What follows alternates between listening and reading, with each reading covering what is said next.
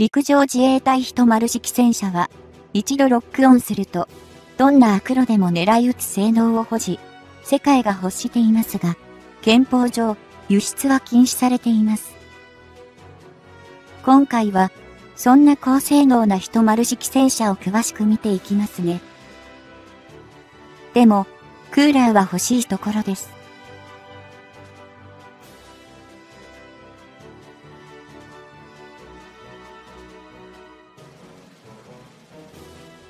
陸上自衛隊の第3.5世代、第4世代との見方も、主力戦車である、人丸式戦車は、国産戦車として4代目にあたり、それまでの第3世代主力戦車、旧丸式戦車と、比較して、戦闘力の総合化が図られ、火力、機動力、防護力が、それぞれ向上した上に小型、軽量化もなされていて、日本の国土防衛に適した戦車である。日本本土防衛のために、最適な能力を有する戦車を将来にわたって保有するため、戦闘の形態の目まぐるしい変化に、対応可能な機能、性能を有した後継の開発が必要とされており、90式戦車の後継として、新たに導入する戦車の条件として、C4i システムによる情報共有、及び、直投性能力の負荷と、火力、防護力、機動力の向上、そして全国的な配備と戦略機動のための小型軽量化が求められていた。そして2002年度、平成14年度から防衛省技術研究本部、現在の防衛装備庁と三菱重工業において開発が進められ、2008年に試作車両が公開されて、主な諸言などが明らかにされた。その後2010年6月14日に、静岡県寸東郡小山町の陸上自衛隊富士学校、富士駐屯地で、人丸式戦車試作車両として、報道関係者に公開、旧丸式戦車と並走して走行する姿が公開され、さらに、同年7月11日に行われた、富士学校、富士駐屯地開設56周年記念行事で、初めて、一般向けに2両の試作車による走行展示が行われ、この2010年度から陸上自衛隊で調達が開始されている。一丸式戦車の主な諸言は、全長9.42メートル、全幅3.24メートル、全高2.30メートル、全備重量約44トン、乗員3名とされ、旧丸式戦車より一回り小さく、74戦車よりやや大きく、喧嘩方式が74戦車と同じく、全天輪が油気圧式のパッシブサスペンションとなっていて、74戦車と同様に左右への車体傾斜機能が復活していることが90式戦車との違いである。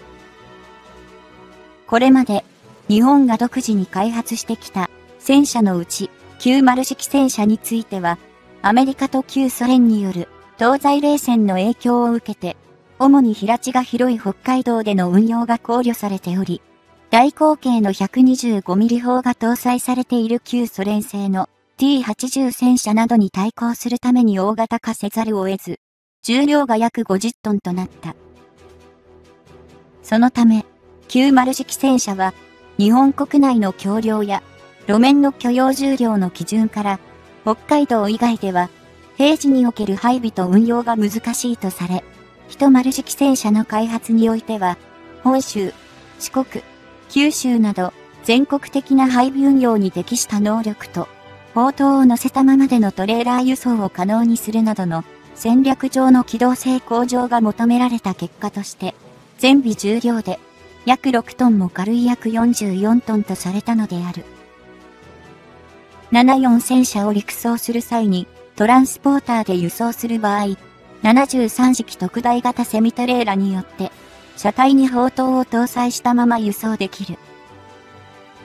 しかし、90式戦車の場合は、最大積載量が50トンの特大型運搬車であれば、砲塔と車体が一体のままの状態で輸送できるが、最大積載量が小さい73式特大型セミトレーラでは、車体から砲塔を分離して下ろし、別々に輸送しなければならなかった。しかし、一丸式戦車では、全備重量が約44トンに収められているため、約4トン分の装甲などの装備を取り外すことで、砲塔を車体に搭載したまま、73式特大型セミトレーラで運搬することができるようになった。さらに、近年では、全国的に道路交通網が整備され、かつて、6人直線車が開発された頃に比べると、道路の発展に反比例するように、鉄道は地方ローカル線の廃線が進み、輸送網として機能しなくなっている。そのため、陸上自衛隊では、74戦車の開発以降、戦車の鉄道輸送は事実上断念していて、90式戦車を輸送する場合、専用のトランスポーターで輸送を実施しようとすると、道路の許容重量によっては走行できるルートが限られてしまう可能性が大きく、と言って舗装道路を長距離自走させた場合には、靴体、キャタピラーや足回りと路面舗装を傷める可能性が指摘されていたのであるが、一丸式戦車の設計にあたっては、同時代に開発された世界の第3.5世代主力戦車の中では、小型となる40トン級車両とすることによって、舗装道路を自走する際の車体と路面へのダメージ低減にも成功したのだった。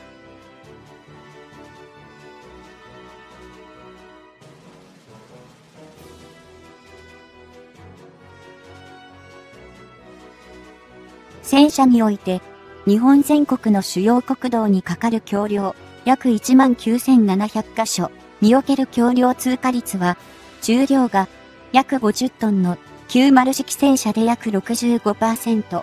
55トンから60トンを超える海外の主力戦車では約40%以下とされているが、一丸式戦車においては84%の橋梁を渡ることができることから、日本の国土で運用するのに最適な戦車であると評価されている。この軽量の一丸式戦車に搭載されている。エンジンは 1200PS、2300rpm を発揮する。三菱 8VA34WTK で、このエンジンは、61式戦車以来の水冷4サイクル V 型8気筒ディーゼルエンジンで、出力重量比は約 27PS、T で、90式の約 30PS、トンと比べれば若干低いとされながらも、出力 1500PS 重量55トンの戦車とほぼ同等である。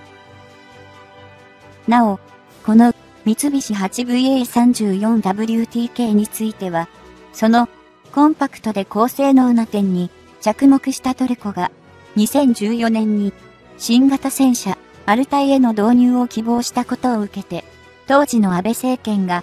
武器輸出緩和政策の流れに乗って共同開発を行う方針が示されたことがあるが、トルコから第三国にその技術が漏泄する恐れなどから実現しなかったとの経緯があった。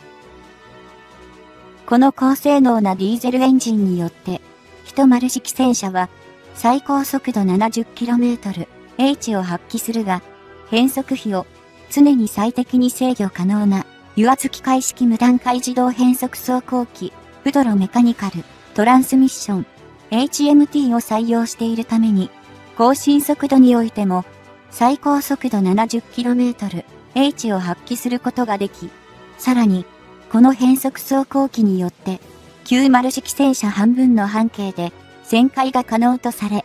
動力装置の高効率、高応答化と小型、軽量化が実現され、機動性が大きく向上されている。一丸式戦車手法には、これまでの44口径 120mm 滑空砲より、重量が13%軽減された日本製高所製の軽量高う圧方針の44口径 120mm 滑空砲が搭載され、さらに将来的には必要に応じて欧米の第3.5世代主力戦車の手法である55口径 120mm 滑空砲への換装が可能なように設計されている。また、弾薬の互換性を保持するため、手法の一部に、西側諸国に共通のラインメタル社製の 120mm L44 滑降砲と共通の設計がなされていて、90式戦車用の砲弾はもちろん、NATO 弾も使用できるとされている。なお、10式戦車用の砲弾には、鉄鋼弾の他に空砲も調達されており、訓練や演習時の使用はもとより、記念行事や模擬戦闘などで、90式戦車では実施できなかった空砲射撃が可能となっている。砲弾の装填には、軽量化が図られた自動装填装置が装備され、砲塔内のベルト式球弾装置によって、砲塔5面にある球弾用ハッチから自動装填装置への球弾を行う。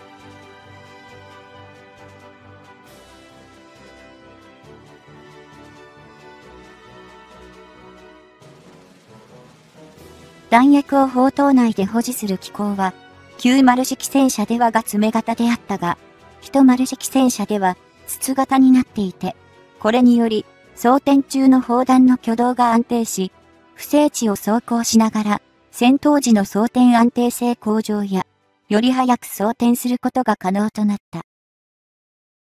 また、副武装は、砲塔上面の車徴用潜望鏡上部に、旋回式の 12.7mm 重機関銃 M2 と、主砲と同軸に、74車載 7.62mm 機関銃が装備されている。一丸式戦車の装甲には、正面に複合装甲が採用され、その他の防弾板には、結晶粒微細化鋼板と呼ばれる鋼板が採用されており、増加装甲も含めて高い防御力を維持しながら、軽量化が図られている。そして、一丸式戦車最大のポイントは、陸上自衛隊戦車に初めて搭載された C4i システム、コマンド、コントロール、コミュニケーションズ、コムピュタールス、アンドインテリジェンス、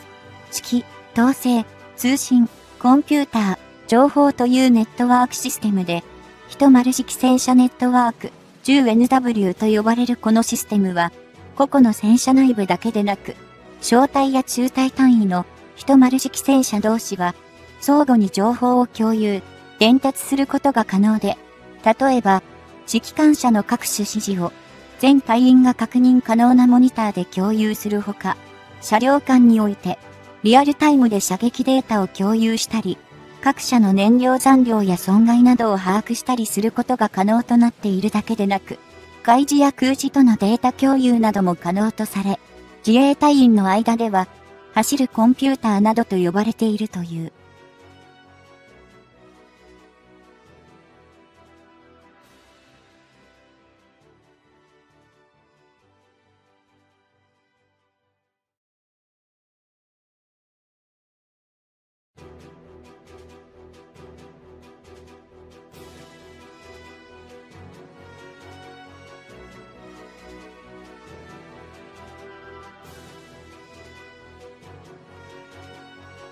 レールガンという言葉を聞いたことがありますか？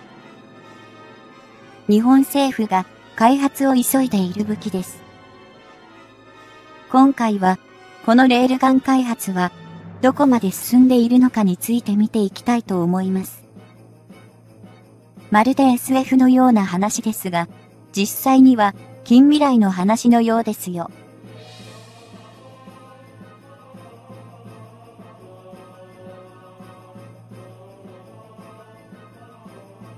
新年2022年になってからというもの、北朝鮮は超音速弾道ミサイルとみられる物体の発射を繰り返しています。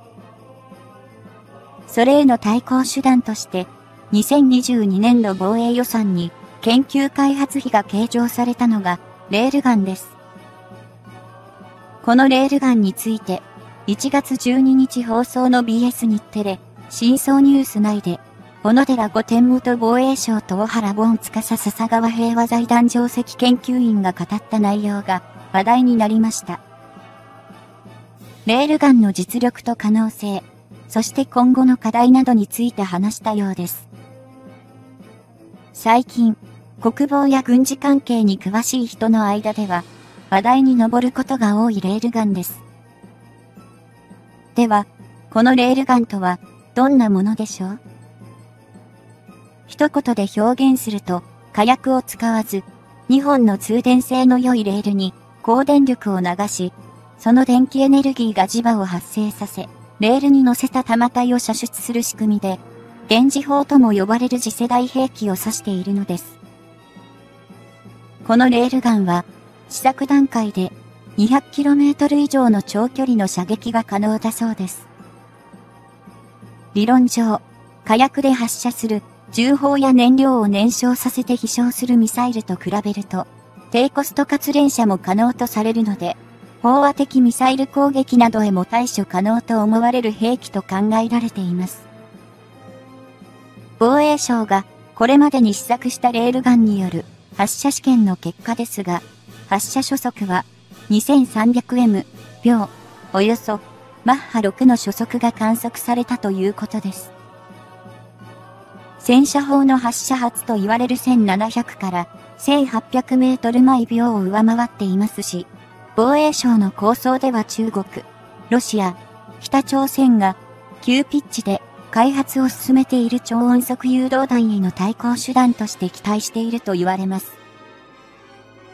その証拠に、2022年度防衛予算では、65億円に上る研究開発費を計上しているのです。前での真相ニュースの中で、キャスターから質問がありました。レールガンを開発するメリットは何ですか？小原定石研究員は、弾体を非常に高スピードで遠いターゲットに当てることができると考えていますし、ミサイルなどに弾体が到達するまでの時間も短く、連射可能と聞いていると答えた上で、アメリカ軍による地上試験では、射程 370km という報告があり、連射性能向上の可能性も述べました。そして、弾体に火薬を入れて爆発させなくても、高スピードによる破壊力が期待できるとも付け加えました。キャスターの強力な磁場を発生させるための装置は必要ですか？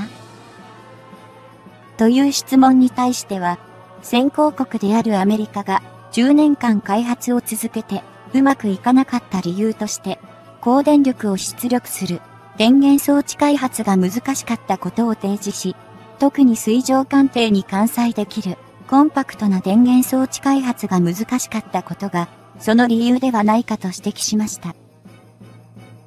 現状で、レールガンを艦載可能な艦艇として例示したのが、統合電源システム IPS を持つズムウォルト級駆逐艦でした。IPS は大きな電力を必要な箇所に集中的に配電できるシステムなので、レールガンの発射は可能と見ていますが、発射には高電力が必要なので、他の電子装置が使用不可能になってしまうため、実際に艦載は難しいとみなした上で、日本ではこういった電源システム関連の研究が進んでいるから、技術の優位性があると結論付けたのです。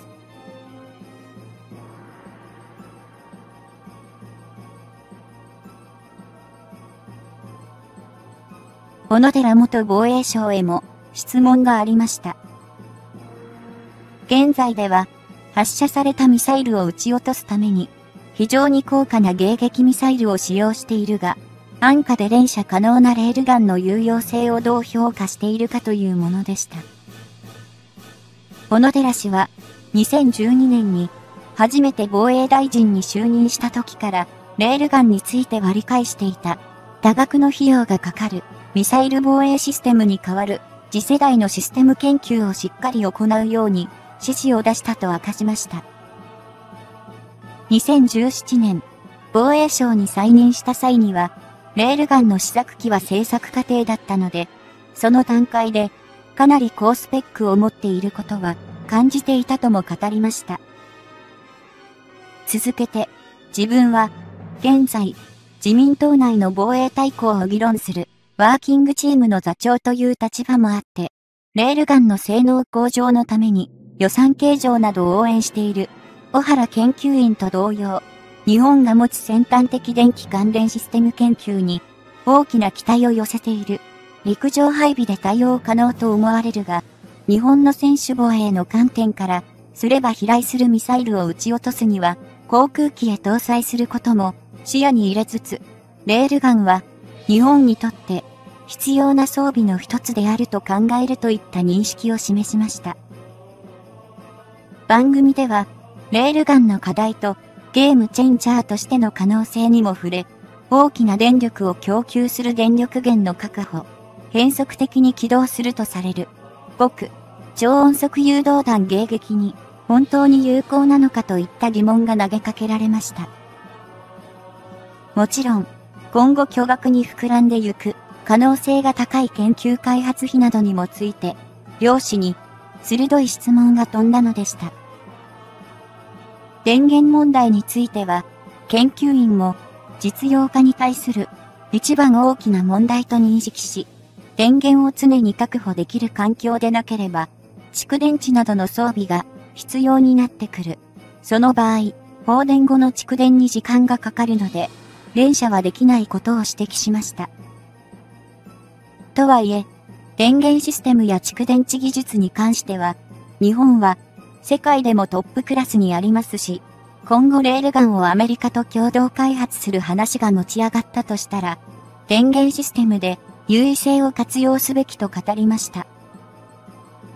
気になる極超音速ミサイルの変速軌道への対応についてですが、小野寺氏は、レールガン一つで防衛システムを構築するものではなく、イージスシステムやパック3ペトリオットなど、現在のシステムと複合的に防衛に当たるとした上で、レールガンを含めて飛来するターゲットに標準を合わせて的中させるということのみの発想ではなく、当たらないまでも近距離で炸裂させるなど、様々な可能性を研究するべきと考えていて、それはまだ始まったばかりだと話しました。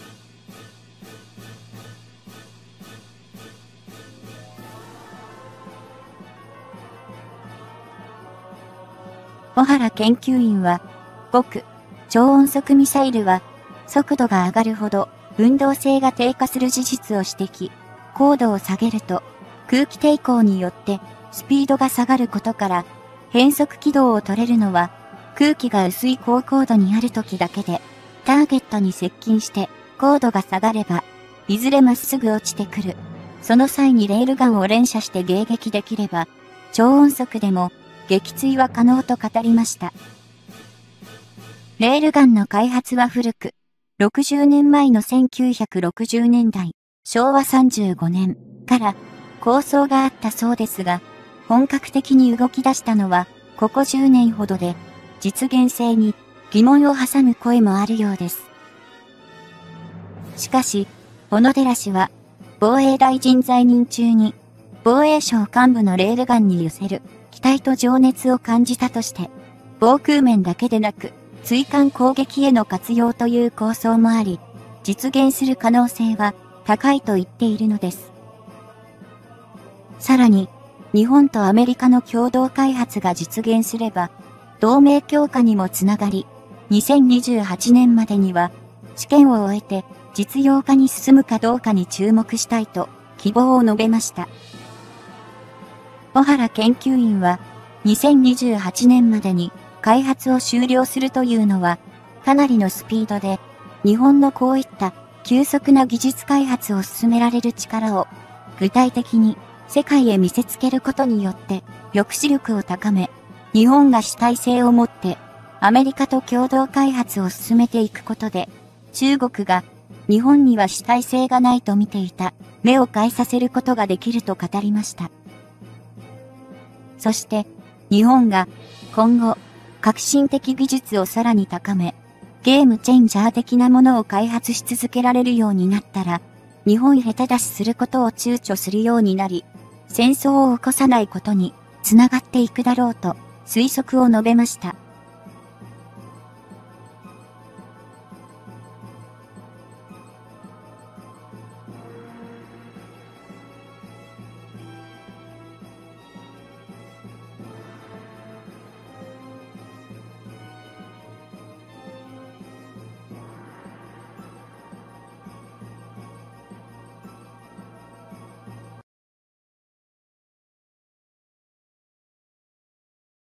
IHI 射精時期 XF9 の情報をキャッチしました。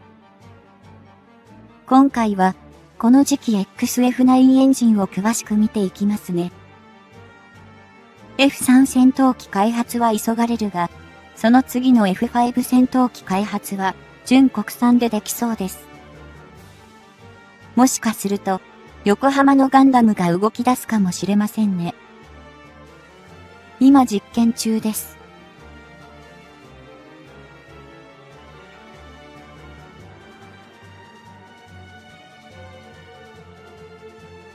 防衛省が2035年に退役開始が予定されている。国産の F2 支援戦闘機の後継機として開発を進めている。次期戦闘機は2018年、平成30年、策定の31中規模で開発が決定され、2020年、令和2年、三菱重工が開発主体となって、三菱電機、IHI、川崎重工業、スバル、東芝、富士通、日本電機、NEC の7社が参画することになり、三菱重工業とスバルに、川崎重工業が機体の開発を担当し、エンジンは IHI が担当、三菱電機が電子戦装備を制御するミッションシステムを、東芝、富士通、日本電機、NEC がレーダーを含む電子機器を担当するなどして、200人超の体制で開発が進められていた。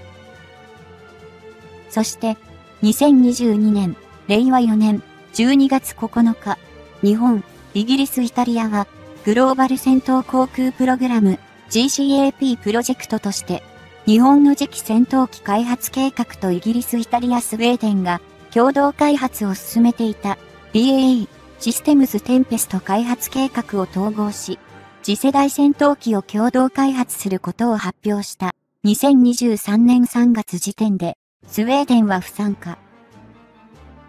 日本では、次期戦闘機開発計画と同じく、三菱重工が主契約者となって、機体、IHI がエンジン、三菱電機が電子機器を担当することになり、イギリスは BAE システムズが機体、ロールスロイスがエンジン、レオナルド S、PA のイギリス法人が電子機器を担当し、イタリアからは、レオナルド、SPA とアビオエアロが開発に参加して、ミサイル開発には MBDA も参加することとなった。このプロジェクトによって、2024年頃までに各社の詳細な開発内容や費用負担を明確にした上で、2030年頃の生産開始を目標として2035年に初号機が配備される予定とされている。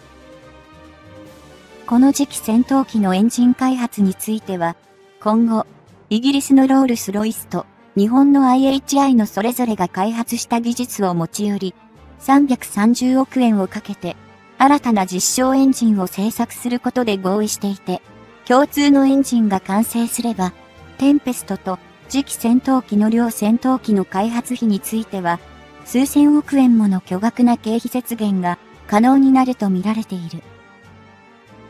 そのエンジン開発の基本となる技術は、ロールス・ロイス側で開発を進めてきた、将来戦闘航空システム技術構想、FCAS、TI、フューチャー、コンバット、エアー、システム、テクノロジー、イニティアティベト、IHI がプロトタイプを制作した先進実証エンジン、XF9、版である。ロールス・ロイスでは、まだ実証エンジンの製作には至っていないが、IHI が独自に開発を進めた XF91 は、純国産のジェットエンジンとして、2018年6月にプロトタイプが完成しており、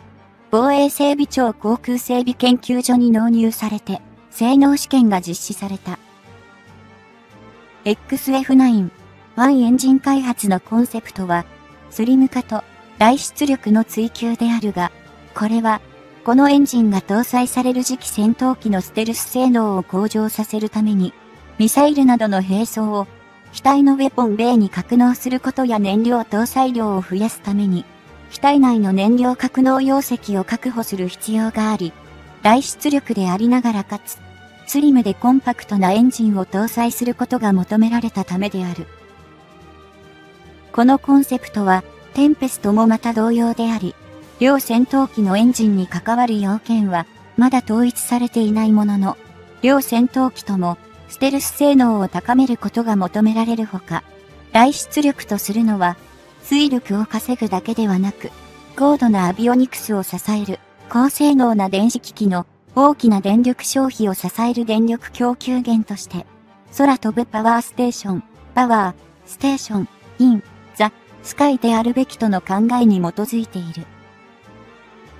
IHI が提供する XF9-1 のプロトタイプのサイズは、アメリカ空軍の F15 イーグルに搭載されているプラットホイットニー社製の F100 エンジンとほぼ同じサイズでありながら、水力は最大で15トンを発揮することが試験で確認されていて、これは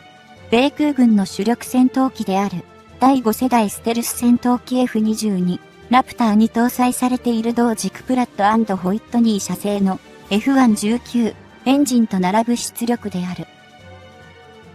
また、F119 とのサイズを比較すると、F119 が全長5.16メートル、直径が1.168メートルであるのに対して、XF9、1は全長4.8メートル、直径1メートルであり、いかに XF9、1がかなりコンパクトなサイズに仕上がっていることがわかる。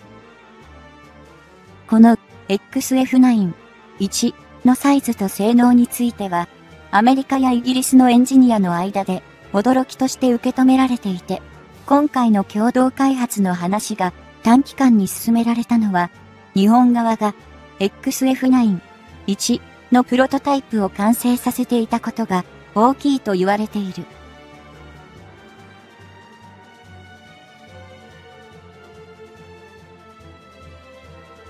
XF9、1は高圧軸と低圧軸の2軸を持つ、アフターバーナー付き低バイパス比ターボファンエンジンに分類され、圧縮機前段部まで、強度の高いチタン合金を使用しているほか、繊維強化プラスチックやセラミック元複合材料、セラミック、マトリックス、コムポジテス、CMC を使用することで、エンジンの軽量化を図った。さらに、タービン部についても、CMC、や耐熱性の高い先進金属材料を用いることによって、少ない冷却空気流量でも、エンジンが必要な水力を発揮できるよう設計されていて、ステルス性能に大きな影響を与えるテークダクトの流路断面積の低減や、ダクト長の短縮に貢献している。コア部分には、高圧軸として、コンプレッサー6段とタービン1段があり、この迷子に、ファン3段とタービン1段の低圧軸がある。そして、その後部には、アフターバーナーと推力偏向ノズルが装着され、機体の機動性向上が図られ、小悪動ギアボックスには、大電力を発電するスタータージェネレーターが装着されている。タービン入り口温度は1800度 C に達するとされ、この1800度 C という温度は、ニッケル系超合金の U.1400 度 C を大幅に超えるもので、ジェットエンジンにおいては、この温度が高いほど、高性能なエンジンとされ、XF9、1のタービン入り口温度は、世界的に見てもトップクラスと言える。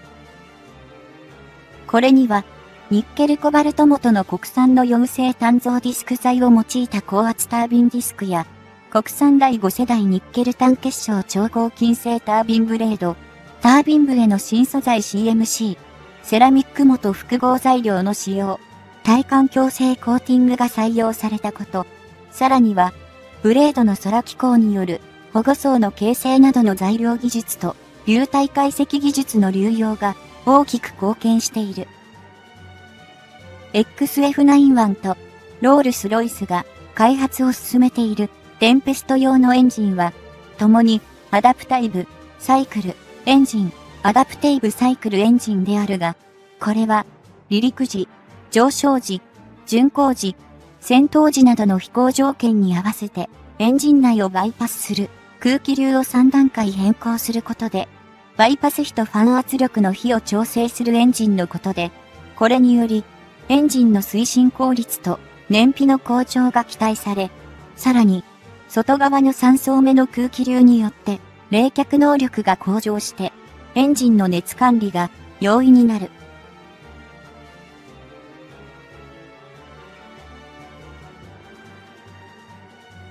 ファン排気流は、巡航時には、コアケース外側のダクトを流れ、高速時には、コア内に排気流を導いて、水力増加に利用し、外周の複数のダクトは、ファン出口からの3層目の空気流を流し、水力を得るとともに、エンジンを含む各所の冷却に使われる仕組みだ。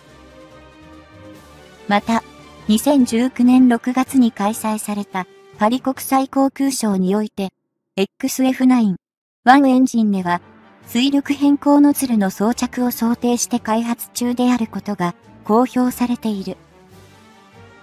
XF9、1においては、2016年度から2020年度まで、水力変更ノズルを装着して使用した場合の高運動性、ステルス性の確保などを目的に、水力変更ノズルに関する研究が実施された。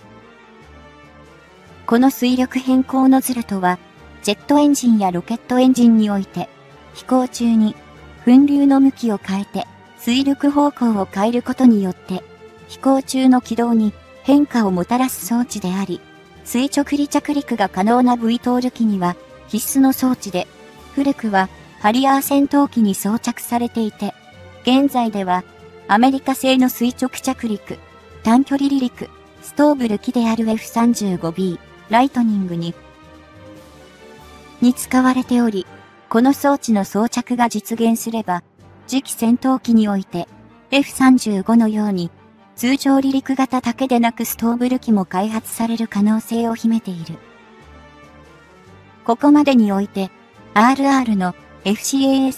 TI は未完だが、同社のエンジン開発における技術力や実績は定評があり、IHI の XF9、1は実証エンジンが完成している強みがある。